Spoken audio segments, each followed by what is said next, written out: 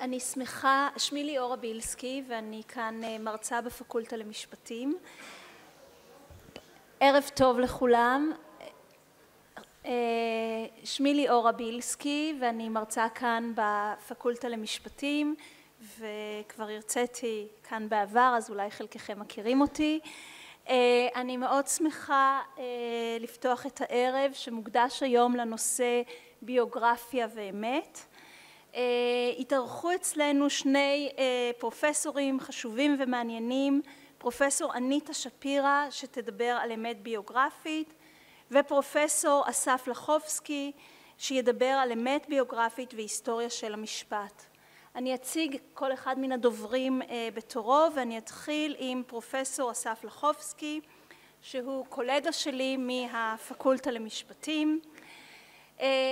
פרופסור לחובסקי הוא פרופסור של משפט והיסטוריה משפטית שהספר הראשון שלו נקרא Law and Identity in Mandate Palestine, התפרסם ב-2006 ב-University of North Carolina Press וזכה לפרס יוקרתי על שם יונתן שפירו לספר הטוב ביותר בלימודי ישראל. פרופסור לחובסקי פרסם מאמרים רבים על היסטוריה משפטית ישראלית, אמריקאית ואנגלית. הוא גם עורך של מספר קבצי מאמרים וספרים על נושא היסטוריה משפטית. בימים אלה אסף מסיים את ספרו השני על מיסוי ומשפט בארץ ישראל המנדטורית שיצא באוניברסיטת קיימברידג' המכובדת. פרופסור לחובסקי לימד במקומות שונים בעולם והוא גם המייסד השותף לאגודה הישראלית למשפט והיסטוריה שנוצרה ב-2005 ומאז השפיעה רבות על האקדמיה המשפטית, אני נהניתי מזה מאוד. זהו, פרופסור לחובסקי בבקשה.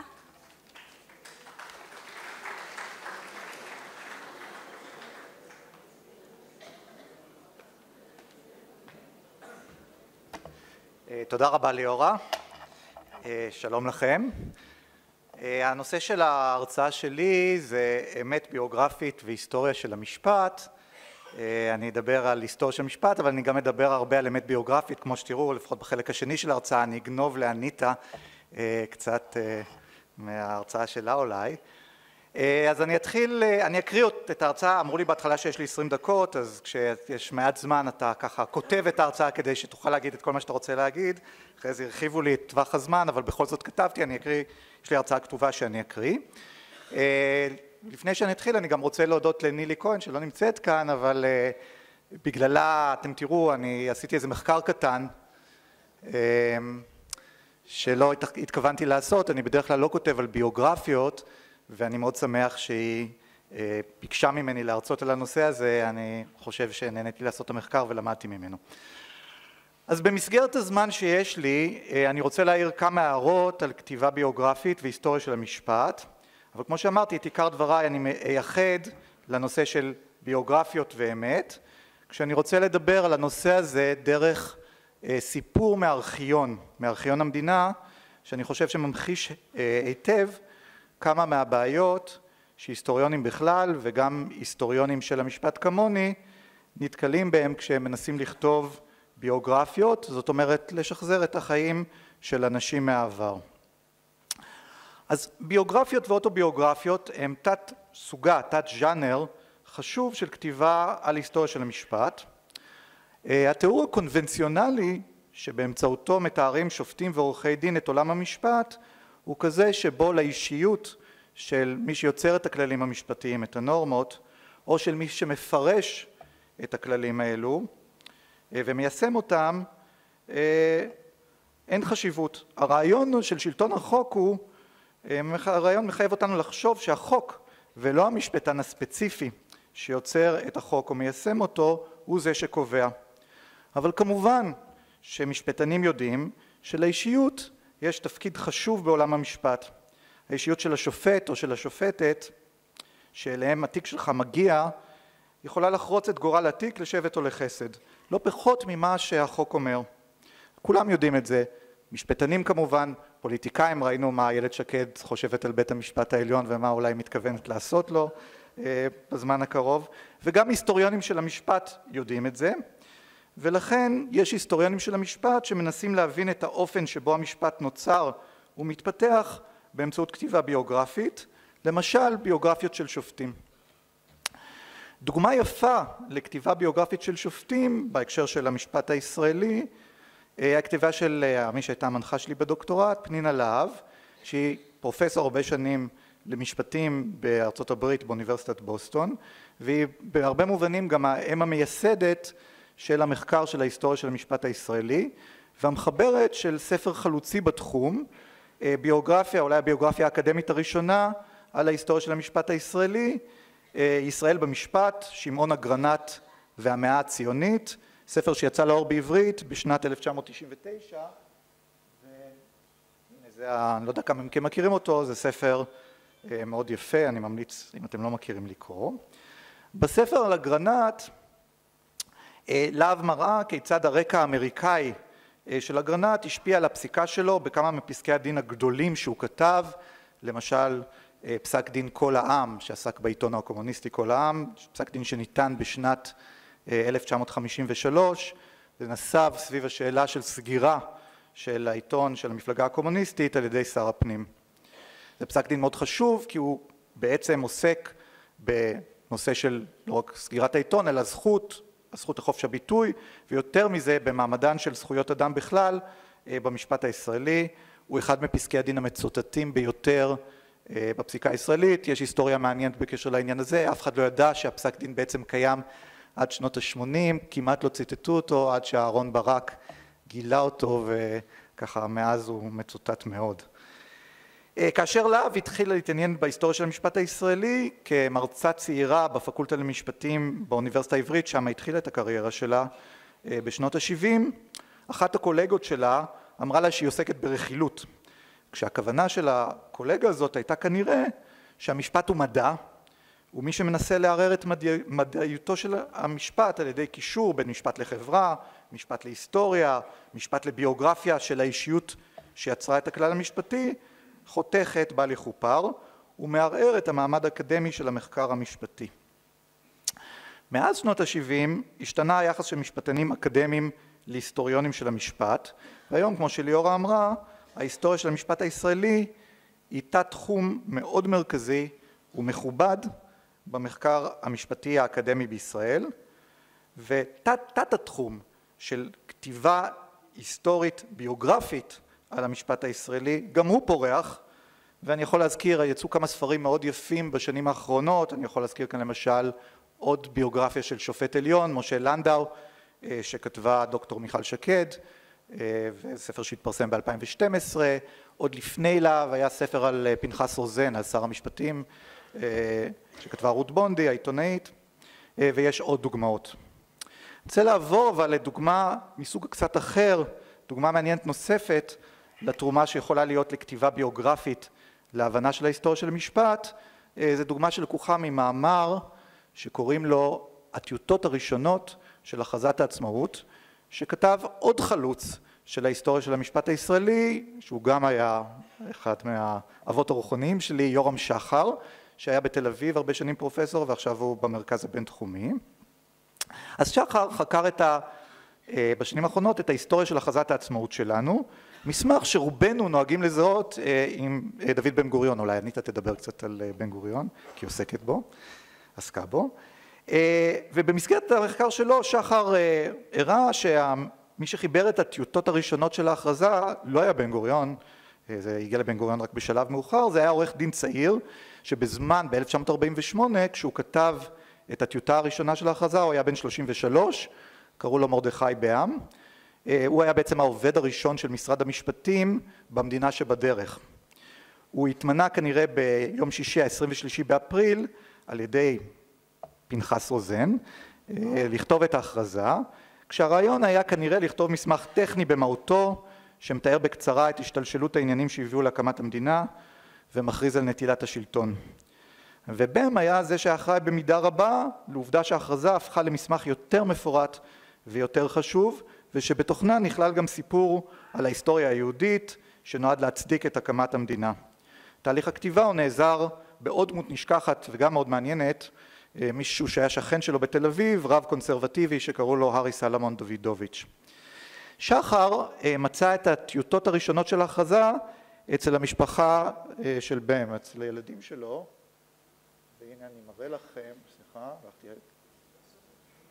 הנה זה אחת מהטיוטות הראשונות, הטיוטות היו במצב שימור מאוד לא טוב, אני שמעתי סיפור שאני לא יכול לערוב לאמיתותו, שאומר שהנכדה הגישה את הטיוטה הראשונה למורה שלה בבית ספר עטופה בניילון במסגרת עבודת גמר שהיא כתבה. יש שם גם, אני לא יודע אם אתם רואים את זה, אבל יש קשקושים בעיפרון על הטיוטה, שיכול להיות שזה גם מורשת של אותה נכדה שהייתה יותר צעירה, היא קיבלה את הטיוטה כנייר לקשקוש. אבל יכול להיות שאני סתם משמיץ. מעבר לעצם גילוי הטיוטה, שחר הראה באמצעותה כמה דברים מעניינים על הטקסט של ההכרזה, כמו שאמרתי השפעה אמריקאית, הטיוטה הייתה הראשונה, הייתה בעצם רשימה של אוסף של ציטוטים שבעם לקח מהכרזת העצמאות האמריקאית של 1776. המאמר הראשון של שחר שעוסק בטיוטה פורסם ב-2002, זה כבר היה לפני יותר מעשור, אבל הגלגול האחרון של הסיפור הזה התרחש רק לפני כמה חודשים, כשמשפחת בעם החליטה למכור את הטיוטות לכל המרבה במחיר, הם מסרו אותם לבית, מחיר, לבית מכירות פומביות מאוד חשוב שנמצא בירושלים, קדם, שהציע את הטיוטות במסגרת מכירה פומבית בדצמבר 2015, לפני כמה חודשים. הנה שקף, הנה שקף מזה, מקטלוג המכירה, פריט 112, הטיוטות הראשונות של מגילת העצמאות, יש כאן הסבר, הטיוטה שחיבר בעם חשיבות מיוחדת, באופן בו בחר לתאר את השתלשלות העניינים, שהביאה להכרזה על הקמת המדינה, נטיית הריבונות וכולי וכולי. בית המכירות קבע, סליחה, קבע מחיר, קבע מחיר פתיחה של רבע מיליון דולר לטיוטות, כאשר הערכה שלו הייתה שהמחיר הסופי יגיע לסכום של בין חצי מיליון למיליון דולר. כמו שאתם אולי יודעים מהעיתונות, קשה לדעת אם אכן זה היה המחיר שהיה משולם בסופו של דבר, כי מדינת ישראל התערבה, הוציאה צו מניעה כנגד המכירה בטענה שבעם כתב את הטיוטה כעובד של מדינת ישראל. למרות שהמדינה לא נכתבה מתי שהוא כתב את הטיוטה הראשונה, לא, לא, לא, לא, לא הוקמה כאשר הוא כתב את הטיוטה הראשונה, שאלה משפטית מעניינת, והעניין עבר לדיון בבית המשפט המחוזי בירושלים. אז הנה, הנה כתבה מהארץ, מעיתון הארץ, הופה.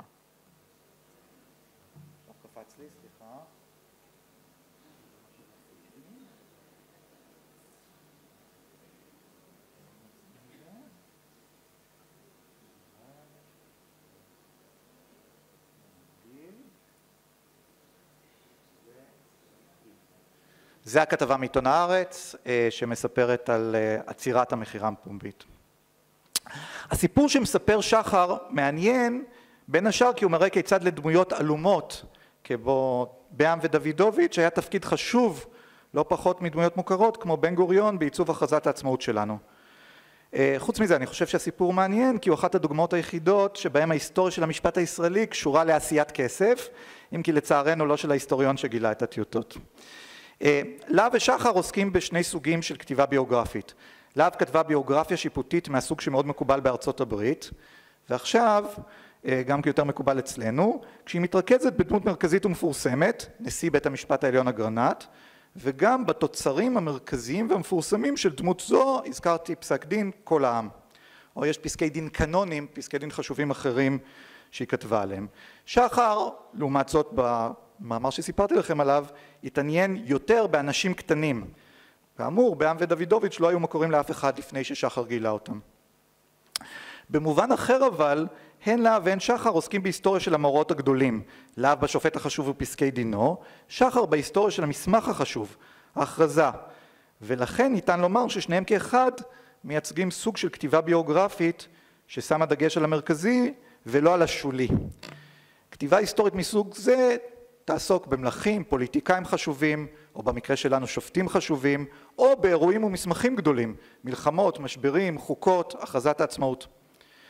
אבל עוד בראשית המאה העשרים הופיעו בכתיבה ההיסטורית גישות אחרות שהתמקדו באדם הקטן, זה שהיה בהשפעה, ש...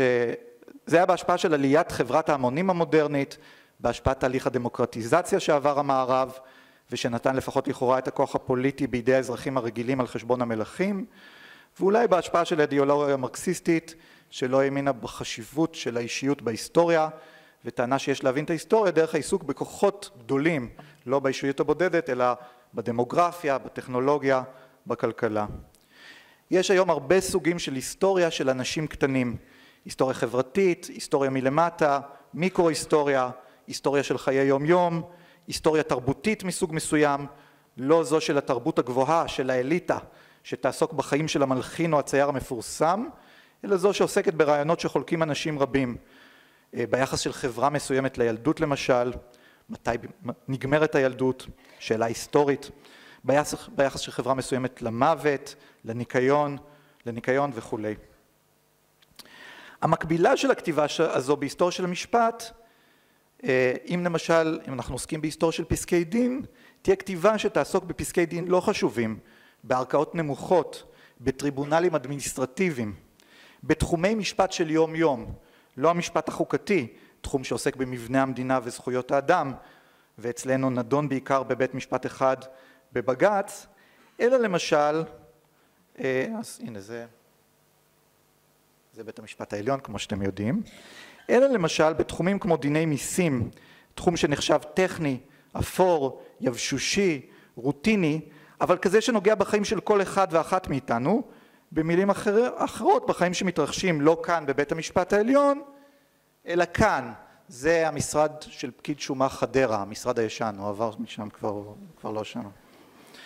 גם במקומות האלו, בחדרה ולא בירושלים, חיים אנשים, וחייהם מעניינים, מלאי תוכן, משעשעים ומחמירי לב, לא פחות מחייהם של אנשים כמו אגרנט, או אפילו בעם ודוידוביץ'.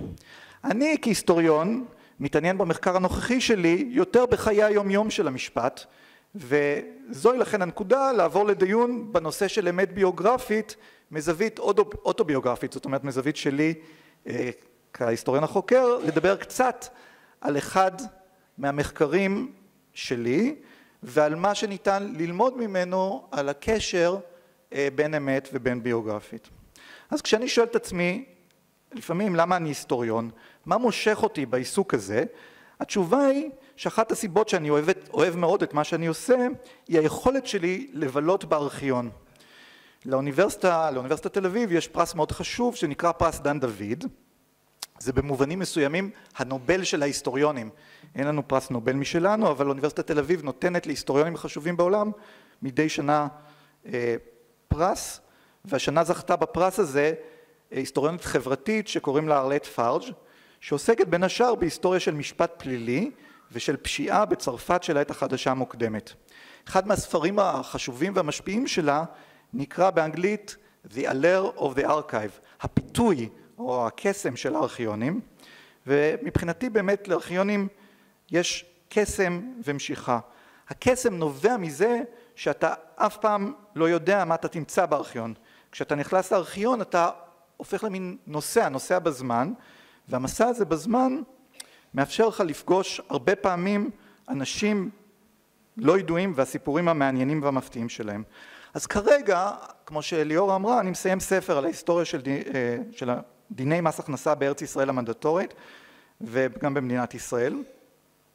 והתחום הזה, כמו שאמרתי, של דיני מיסים הוא מאוד, מאוד נראה טכני ויבש, אבל החוויה שלי מהמחקר הארכיוני שעשיתי לספר הייתה הפוכה. במהלך המחקר לספר פגשתי בארכיונים השונים שבהם עבדתי קשת רחבה של דמויות מעניינות. הגלריה הצבעונית של הדמויות האלו, האלו כללה אנשים כמו למשל עמנואל הרוסי, המשורר והמחזאי העברי, מחבר שיר הערש הידוע שכב בני, שהיה במקרה גם איש התעמולה של מערכת המס הוולונטרית שפעלה ביישוב בשנות ה-40, כופר היישוב, היה כמה שמות, זה היה כופר היישוב, מגבית ההתגייסות והצלה, מס חירום, או למשל אברהם מנדל, צייר ירושלמי, שהיה גם הדובר של מנהל הכנסות המדינה, ובמסגרת התפקיד של, הזה שלו הוא ייסד גם את מוזיאון המיסים בירושלים, שאני מאוד מאוד ממליץ לכם להיות שם. מישהו היה במוזיאון המיסים? מוזיאון המיסים, ירושלים. לא היה? אני מאוד ממליץ. או, או למשל, עורכי דין, כמו ארנסט ורנר קלימובסקי, דמות בכירה בקרב עורכי הדין בתחום המס בתקופת המנדט ובימיה הראשונים של המדינה. אני התרגש, התרגשתי מאוד למשל כשגיליתי שאולי בשעת היום קלימובסקי היה משפטן יבשושי שכתב מאמרים על נושאים כמו מהותו של פחת במס הכנסה או אמנת המס ישראל שוודיה אך בשאר זמנו היה אחד מחלוצי המחקר הסקסולוגי בעולם ופרסם בגרמנית ספרים כמו מין והיסטוריה, הסקסואליות והטרנספורמציה של התרבות והאומנות, ספר שאת המבוא שלו כתב מקס ברוד, מקס ברוד החבר והמנהל של העיזבון של קפקא. טוב, במסגרת המחקר לספר עסקתי בין השאר בשאלה של ההכשרה של אנשי מערכת המס המנדטורית וזאת משום שסיפור מרכזי שבו אני עוסק בספר הוא הסיפור של התמקצעות התחום. הפיכת מה שהיה פעם, מה שנעשה בעבר על ידי פקידים ללא הכשרה משפטית או חשבונאית והרבה פעמים גם בצורה לא פורמלית. למשל על ידי משא ומתן בין הנישום לבין פקיד השומה סביב למשל שומות לפי מיטב השפיטה. לתחום ממושפט שמי שעוסק בו כיום הם רק אנשי מקצוע משפטנים וגם רואי חשבון ויועצי מס כחלק מהעניין שלי בהתמקצעות התחום חיפשתי מידע על ההכשרה של פקיד השומה הראשון בירושלים בשנות ה-40, אדם שקראו לו ג'ון גיא טמפסט שרינגהם. חומרי מערכת המס המנדטורית נמצאים בארכיון המדינה בירושלים ובביקור האחרון שלי בארכיון בחודש פברואר הזמנתי כמה ארגזים שחשבתי שיהיה בהם מידע על ההכשרה של פקידי אה, נציבות מס הכנסה כולל על שרינגהם האדם שהייתי מעוניין בו ארגזים כללו תיקים בהם מידע שוטף על גביית מס, על סכסוכי מס ספציפיים והרבה תיקים שעסקו בדברים כמו הזמנת ריהוט וציוד משרתי. אבל ארגז אחד מאלו שהזמנתי כלל תיקי כוח אדם.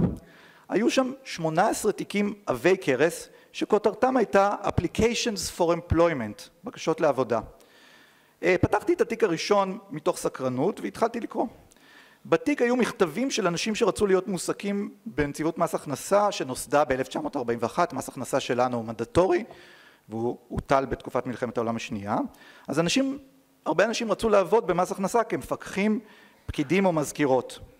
מי שנמצא באקדמיה וכמובן גם בתחומים אחרים רגיל לסוגת הכתיבה שנקראת תולדות חיים מקום שבו אנשים מתמצתים בקצרה את חייהם בדרך כלל הם קצת מגזימים זה אפרופו אמת ביוגרפית או אמת אוטוביוגרפית.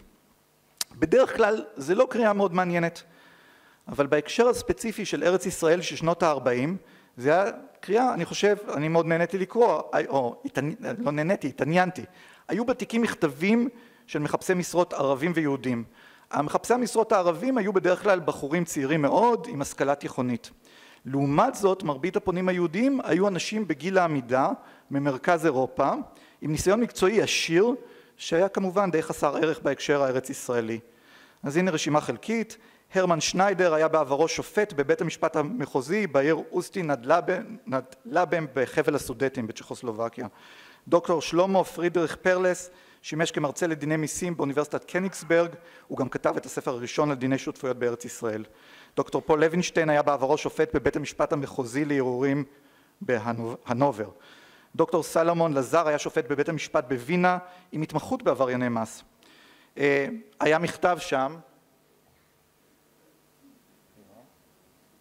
שנשלח מקבוצה, לא מבן אדם אחד, קבוצה של אנשים, אני לא יודע אם אתם יכולים לראות את זה, אבל היו שם קבוצה של אנשים עולים, יקים, ממרכז אירופה שפנו באופן קולקטיבי לעבודה בנציבות.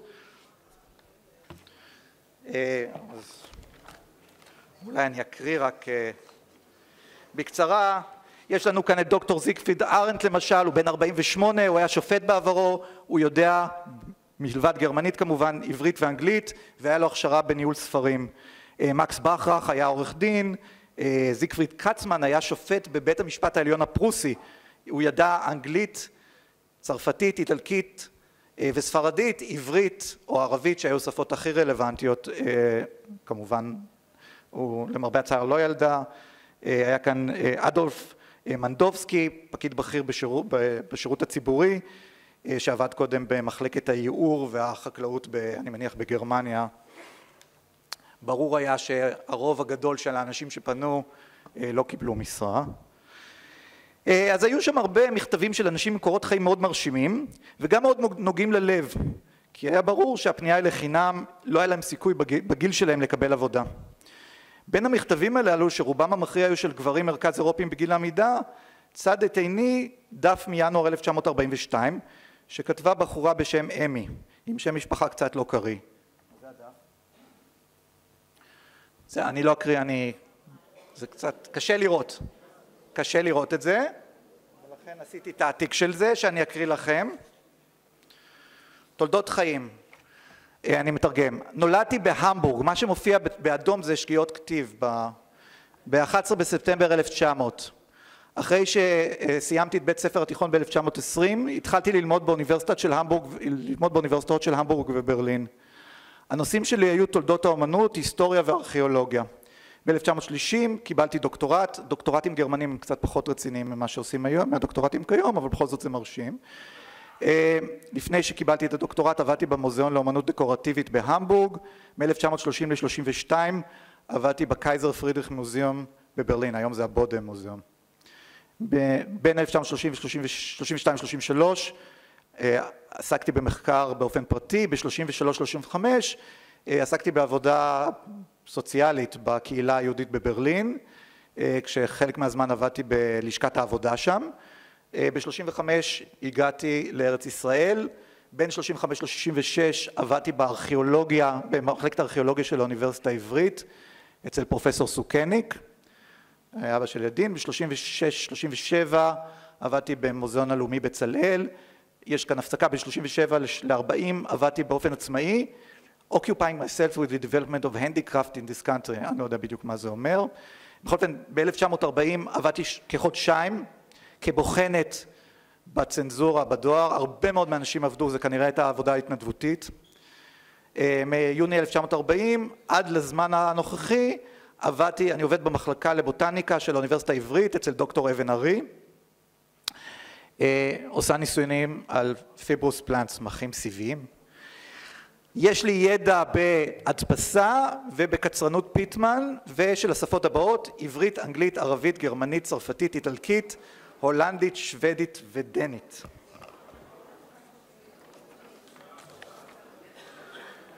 טוב, הגברת שחתומה זה אמי, קוראים לה אמי, זה אמי רוזנבכר.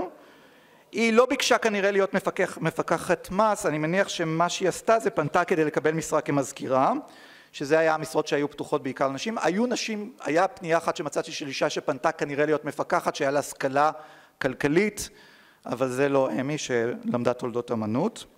מישהו שרבט על המסמך למעלה, אני לא יודע כמה אתם רואים את זה, את המילים האלו no use. ובצדק, כי מבחינת נציבות מס הכנסה, כמו שאנחנו רואים מהמכתב, היא באמת לא הייתה אה, מוכשרת בתחום ההדפסה. המכתב היה מלא שגיאות הדפסה, היו גם קצת שגיאות באנגלית. כשאתה נתקל בתולדות חיים עכשוויים או היסטוריים, כמובן אחת השאלות הראשונות שאפשר לשאול היא שאלה של אמת ביוגרפית. כמה הסיפור שהיא סיפרה על עצמה היה מדויק. אה, האוטוביוגרפיה הקצרה שהועלתה לכתב, היא הועלתה למטרה מסוימת, ולפעמים המטרה מביאה לכך שהמסמך הוא לא אמין.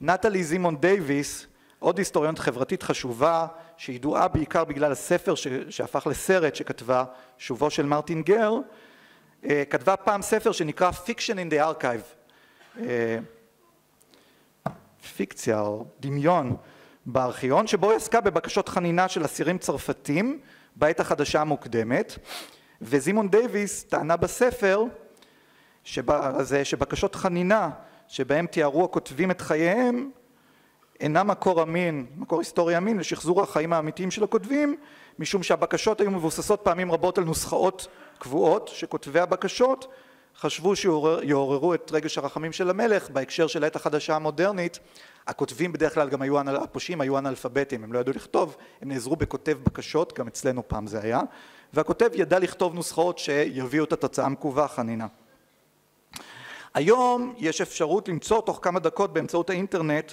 מידע שבעבר חיפוש אחריו היה לוקח חודשים והמידע הזה מאפשר לנו לאמת חלק מהכתוב במסמך שהצגתי עכשיו.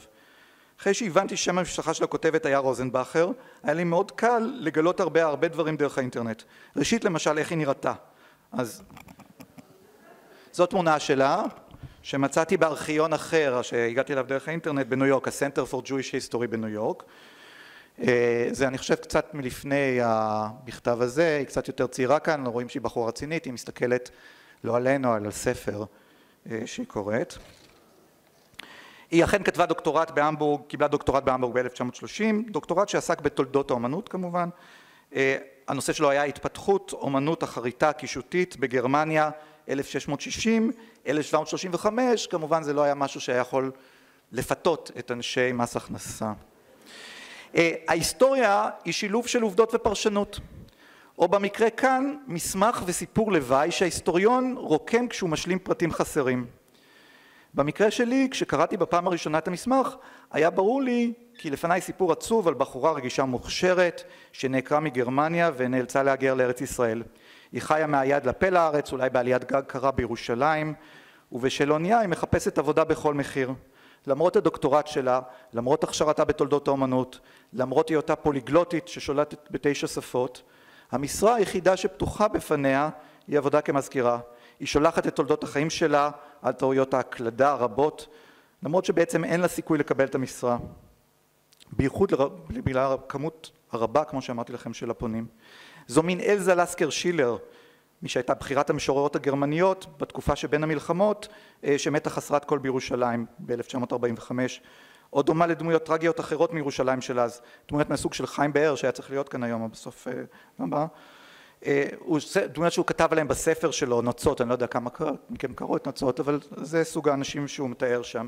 הוא, אני לא, לא יודע אם הוא הזכיר את זה שם, הייתה דמות שאני גם ירושלמי, אז הייתה דמות בירושלים, קשר לאחד, אני לא יודע אם שמעתם עליה, יקת ירושלמית, קצת לא מאוזנת, שהייתה מסתובבת ברחובות ירושלים באמצע המאה שעברה, שרה שירים או נואמת לעוברים ושבים במבטא יקי כבד על הקשר שלה לאלוהים.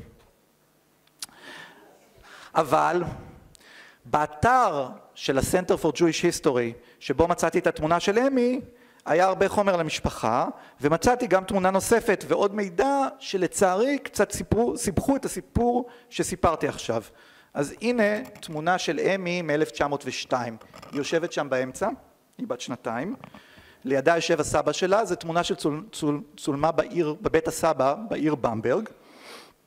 הסבא נקרא אמיל וסרמן, והמשפחה חוגגת לו כאן יום הולדת שישים. אה, המשפחה נראית בורגנית עשירה, ובאמת אמיל, הסבא, היה בנקאי מאוד מצליח, ובשורה השנייה, בצד ימין, כולם שם קרחים עם שפם, אבל אחד מהקרחים עם השפם, זה הדוד של אמי, אוסקר וסרמן, שהיה יושב ראש של מועצת, הפ... מועצת המנהלים של אחד הבנקים הגדולים בגרמניה, הדויטשה בנק, בין 1922 עד 1933, וגם כנראה מתוקף תפקידו חבר מועצת המנהלים של הבנק המרכזי הגרמני, הרייכסבנק, שוב עד 1933, הוא פוטר אז.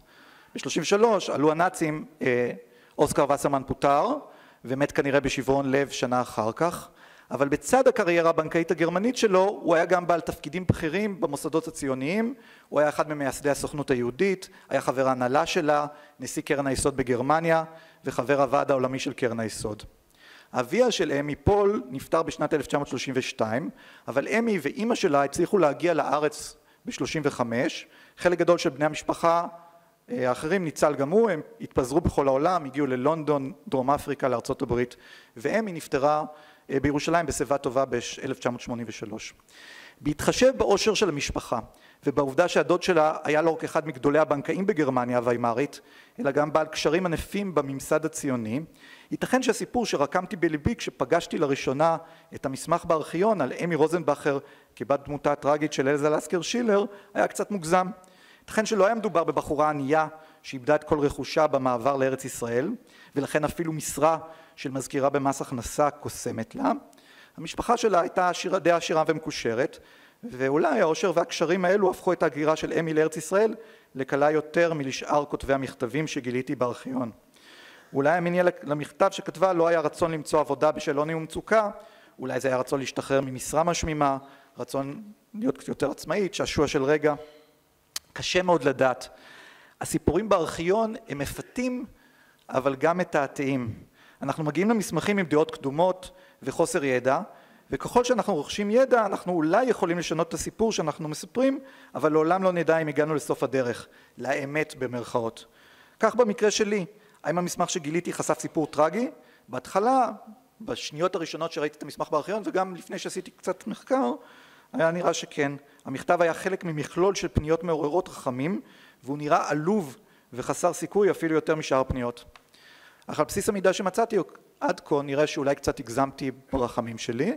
כמובן אני מוסיף לזה את העובדה שבינואר 42 החודש שבו אמי שלחה את תולדות חייה לנציבות מס הכנסה החלו הגרמנים להרוג באופן מסיבי יהודים בעזרת גז ציקלון ב באושוויץ שב-20 בינואר 42 פחות משבוע אחרי שהתקבלו תולדות החיים של אמי בנציבות מס הכנסה בירושלים נפגשו ליד אגם ואנזי בברלין פקידים גרמנים לתאם את הפתרון הסופי לשאלת היהודים באירופה האופי הטרגי של הסיפור הקטן שסיפרתי מקבל כמובן פרופורציה אחרת. אז אני רוצה לסיים בשאלה איזה עוד לקחים אפשר ללמוד מהסיפור של אמי רוזנבכר שסיפרתי כאן? האם מה שיש לפנינו הוא דמות שהבליחה לרגע מתוך הארכיון אה, ונדונה לחזור אה, לאפלת השכחה בין התיקים המאובקים לאחר שסיימתי בה, להשתמש בה כאן בדיון שלי על אמת ביוגרפית או שיש בסיפור הקטן שסיפרתי על חיפוש המשרה של אמי ושל חבריה היקים ממרכז אירופה שימושים נוספים. ביוגרפיות אקדמיות נכתבות פעמים רבות על בסיס התפיסה שהערך של ביוגרפיה מצוי באופן שבו החיים האינדיבידואליים משקפים את התקופה כולה. אה, אם אנחנו כאן, זה משפט וספר, אז אני אשתמש אולי במונח של תורת הספרות ואדבר על ביוגרפיה כסינקדוחה. סינקדוחה זה אמצעי ספרותי שבו החלק מייצג את השלם. למשל אנחנו אומרים ידיים עובדות, או הוא ביקש את ידה, כאשר האיבר, היד, מייצג את האדם כולו. אז הזכרתי בהתחלה של הדברים שלי את הביוגרפיה שכתבה פנינה להב על השופט אגרנט, ישראל במשפט, שמעון אגרנט והמאה הציונית. והרעיון של להב היה שדרך הסיפור של אגרנט, דרך הפסיקה שלו, נוכל ללמוד משהו כללי יותר על המאה הציונית, על ההיסטוריה של הציונות במאה העשרים. והגישה הזאת רלוונטית בוודאי לחיים של אנשים מפורסמים, יש אנשים שעושים היסטוריונים חברתיים שחושבים שאפשר לעשות את זה גם לחיים, לקחת חיים של אנשים לא ידועים ודרכם להבין תקופה שלמה. הדוגמה הכי יפה אני חושב של מיקרו היסטוריון, היסטוריון איטלקי בשם קרלו גינצבורג שכתב ספר מאוד יפה שנקרא הגבינה והתולעים, מספר על איזה טוחן שאף אחד לא הכיר לפני שהוא גילה אותו בארכיון, שדרכו הוא מבין בעצם את החיים ואת התרבות ואת התיאולוגיה ואת תפיסת העולם של האיטלקים במאה ה-16. האם הסיפור שסיפרתי כאן על אמי רוזנבכר יכול להיות מצע מתאים לביוגרפיה מסוג זה? גם אם היו בידיי מספיק מקורות לתאר באופן עשיר יותר או מקיף את חייה של אמי, אני לא משוכנע שהגישה של ביוגרפיה כאמצעי להבין תקופה היא אכן נכונה. וזאת משום שלא ברור שהישות תקופה היא אכן בעלת אחידות וקוהרנטיות מספיקים כדי שחייו של אדם מסוים, ידוע או לא ידוע, ייצגו אותה. יחד עם זאת אני חושב שאפשר לעשות שימוש בביוגרפיה של אמי ויותר מכך בביוגרפיות, בביוגרפיה של חבריה היקים, אותם פגשנו כולנו עכשיו בארכיון, לצורך הכללה מסוימת על ארץ ישראל של שנות ה-40 וה-50 אולי אפילו אחר כך. נראה לי שהסיפור שסיפרתי רלוונטי לכל מיני אנשים שמתעניינים בהיסטוריה של ארץ ישראל ומדינת ישראל למשל מי שמתעניין בהיסטוריה של תהליך הקליטה של היהודים שהגיעו לארץ בשנות ה-30 וה-40 אדם כזה היה יכול לעשות שימוש למשל בסיפור שסיפרתי כאנקדוטה מעניינת במחקרים על הגירה, יואב גלבר כתב מחקרים כאלו, גורל רועי, על החיים של מהגרים מאירופה שהגיעו לארץ בתקופת המנדט, ואפשר אולי לעשות שימוש יותר ספציפי בו אפילו במסגרת דיון על חייהם של נשים מהגרות, היה הבדל בין נשים וגברים מהגרים כמובן. אה, אני היסטוריון של משפט, אז השאלה האם ההיסטור... הסיפור הזה רלוונטי להיסטוריה של מס הכנסה, של דיני מיסים, של המשפט הישראלי. אפשר כמובן לחשוב על דרכים שבהם החומרים שמצאתי בתיקי הארכיון יכולים לשמש גם למחקר של ההיסטוריה של המשפט הישראלי. למשל, מה שאפשר לטעון זה שמה שרואים בתיקים, מה שראינו בתיקים בחטף, הוא את הכמות הגדולה של כישרון וידע שהגיע לכאן בעקבות הידרדרות במצב היהודים, במצב היהודים באירופה לפני ובמהלך השואה. חלק גדול מהכישרון והידע הזה התבזבזו, אבל חלק מהאנשים שאת המכתבים שלהם ראיתי בארכיון, חלק מהם נקלטו בסופו של דבר במנגנון הממשלתי או בשוק הפרטי בתקופת המנדט או בתקופת המדינה בשנות החמישים. בכך נבדלה ארץ ישראל מטריטוריות אחרות שבהם שלטו הבריטים. ייתכן שעובדה זו יכולה לשמש הסבר אחד לסיפור מעניין, לשאלה מעניינת. ההצלחה היחסית של מדינת ישראל לשמור על כלכלה משגשגת, על דמוקרטיה וגם על מערכת של משפט ושלטון חוק לאחר עזיבת הבריטים, באופן שכמעט לא רואים במדינות פוסט קולוניאליות אחרות שנולדו מחורבות האימפריה הבריטית אחרי מלחמת העולם השנייה. אולי כן אולי לא. מכל מקום, בין אם אני רוצה להשתמש בסיפור שסיפרתי להבנה כללית יותר של ההיסטוריה הישראלית ובין אם לאו, נראה לי שהסיפור הזה ממחיש יפה עד כמה המחקר הביוגרפי, הביוגרפי בין בהיסטוריה של המשפט ובין בהיסטוריה כללית הוא תמיד טנטטיבי עד שיתגלה המסמך הבא בנושא. העובדה שהאמת הביוגרפית היא בסופו של דבר לא מושגת לא צריכה לרפות את ידינו. להפך, החתירה האינסופית למטרה לא מושגת זו היא בדיוק הדבר שנותן את העניין והטעם למחקר ההיסטורי. וזו לכן אחת הסיבות שבגללן אני מאוד מאוד אוהב לעסוק בו. תודה רבה.